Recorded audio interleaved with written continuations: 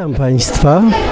Dziś z gminy Kije, ze szkoły podstawowej y, w Kijach do Domu Kultury Pińczoba na korowód niepodległości y, przyjechali uczniowie ze szkoły podstawowej, których przywie, przywieźli uczniów pani Wiesława Zając i Agata Kudasiewicz, uczniów harcerzy z naszej gminy Kije.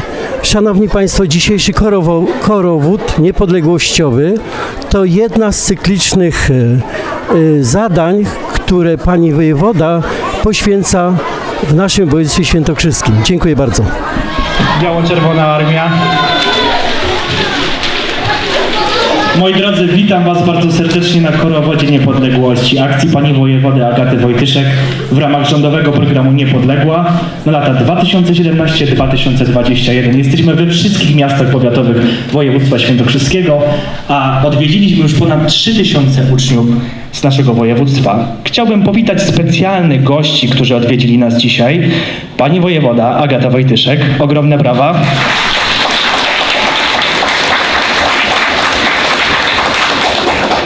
Świętokrzyski wicekurator oświaty pan Tomasz Pleban.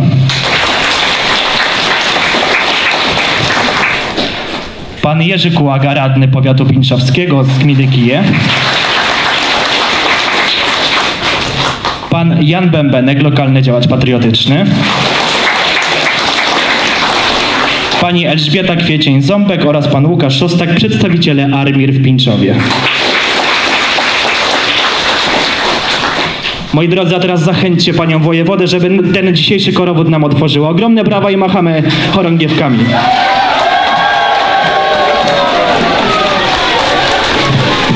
Witam Was bardzo serdecznie. Bardzo się cieszę, że zechcieliście przyjąć zaproszenie na ten korowód niepodległości. A dlaczego korowód niepodległości podróżuje po naszym województwie, to pewnie wiecie, tak? Kto powie mi, dlaczego tak podróżujemy akurat w tym roku? No świetnie, właśnie.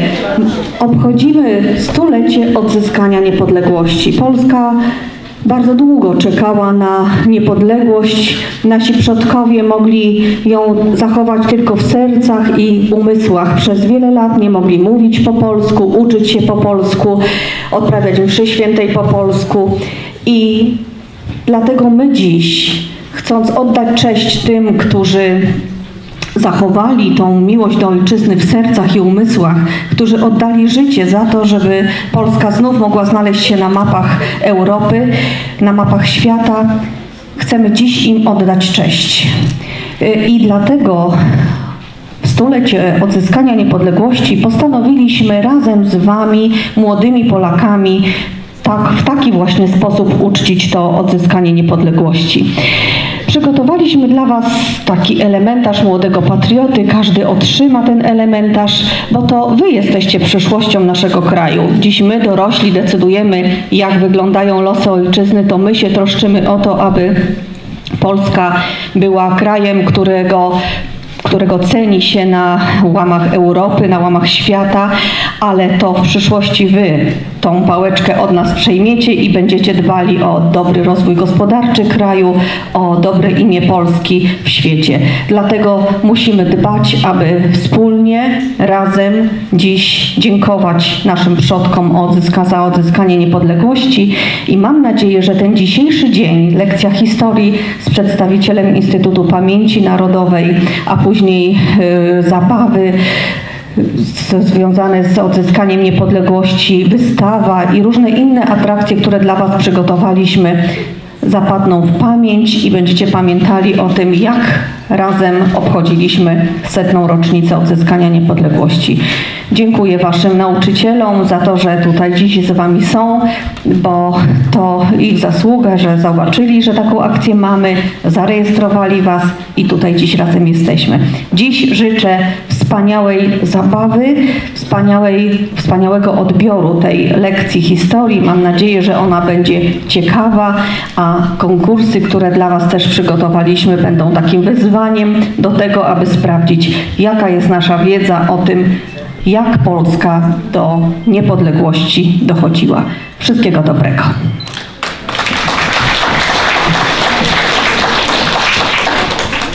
Również Was y, bardzo serdecznie witam dzisiaj. Y, Chcę Wam powiedzieć, że razem z Panią Wojewodą objeżdżamy całe województwo i bardzo się cieszę, że dzisiaj tak licznie przybyliście, aż tak licznie, że brakło miejsc. To świadczy tylko o tym, że jesteście zainteresowani żywotą historią i bardzo się z tego cieszymy. Ja mam taki apel do wszystkich uczestników, bo Wy dzisiaj uczestniczycie w tym spotkaniu, ale nie wszyscy mogli tutaj być. Mam taki apel, abyśmy ten rok obchodzili w sposób szczególny. I chcę Wam powiedzieć, że Kuratorium Oświaty to jest taka instytucja, która jest nad szkołami, to właśnie nauczyciele o tym wiedzą, e, przygotowało taką specjalną mapę. Taką specjalną mapę o wydarzeniach, które dotyczą właśnie tego stulecia. I bardzo zachęcam Was, abyście takie wydarzenia zgłaszali do nas i abyście je organizowali, abyście uczestniczyli i pokazywali, że jesteście patriotami. Dzisiaj życzę Wam tutaj ciekawego, miłego, interesującego pobytu. Dziękuję bardzo.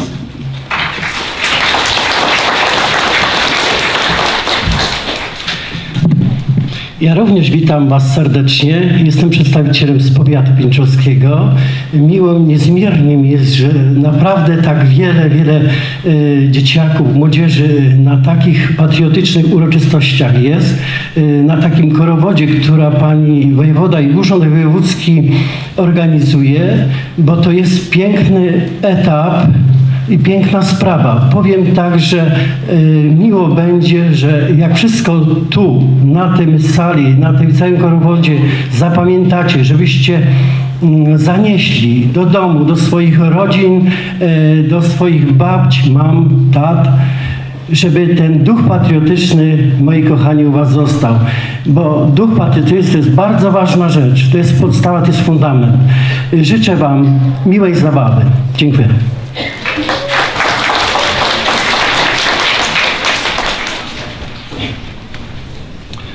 Ja też y, bardzo się cieszę, że widzę tyle młodzieży, takiej mniejszej młodzieży. I dlatego też, że y, ja jestem byłem dyrektorem szkoły numer 1 w Pińczowie. Byłem wiceburmistrzem, ostatnio byłem burmistrzem w Połańcu, także sprawy samorządowe, sprawy oświaty są mi bardzo bliskie i temat, z którym przyjeżdża pani wojewoda jest bardzo ważny, bardzo istotny w nauce, w edukacji każdego pokolenia.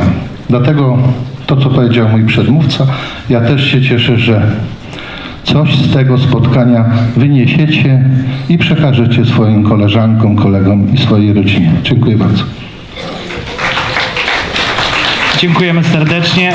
Moi drodzy, program naszego spotkania dzisiaj jest niezwykle prosty, czyli najpierw wspaniała lekcja historii, potem sprawdzimy Waszą wiedzę poprzez quiz historyczny, gdzie będziecie mogli wygrać bardzo fajne nagrody, a trzy, skorzystacie ze wszystkich atrakcji, które dla Was przygotowaliśmy. To jest strzelnica pneumatyczna, fotobudki, gigantyczne kolorowanki, fotościanki i wiele, wiele innych atrakcji.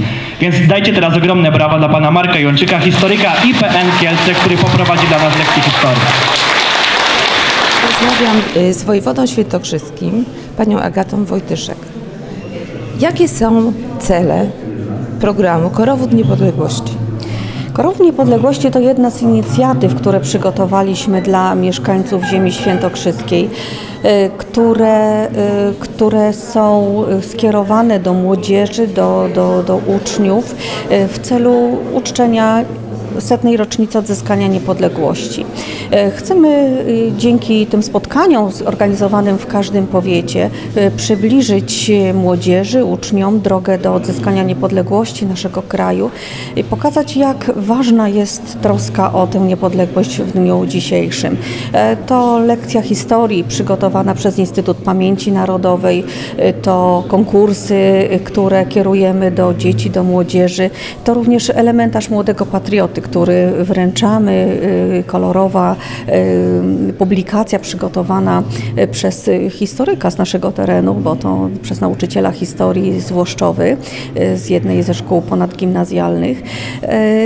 I w tych broszurkach znajdują się informacje dotyczące naszej, naszych, naszej tożsamości narodowej, barw narodowych, godła, hymnu, w jaki sposób należy ten hymn śpiewać, czy też informacje związane z mm, nazwiskami osób i no, postaciami, które dla odzyskania niepodległości mają duże znaczenie a również miejsca, które w istotny sposób przyczyniły się, czy wydarzenia do tego, że 100 lat temu tą niepodległość odzyska, odzyskaliśmy.